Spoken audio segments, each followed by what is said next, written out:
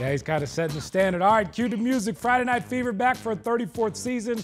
Arizona's number one and longest running high school football show premieres tomorrow. Tonight, our previews stopping in Mesa. The Jackrabbits coming off their first playoff berth and win since 2015. It's been a long road back from Mesa, and finally, football is fun again. I got there in 2019.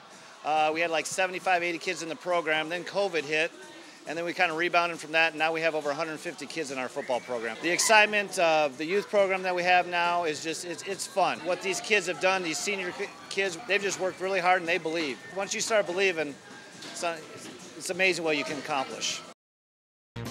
Coach is a good man. All right, our annual preview show is coming your way tomorrow night. We're going around the valley. Plus, we're going to introduce you to our on the road teams. So be a believer, catch the fever every Friday night at 11:35.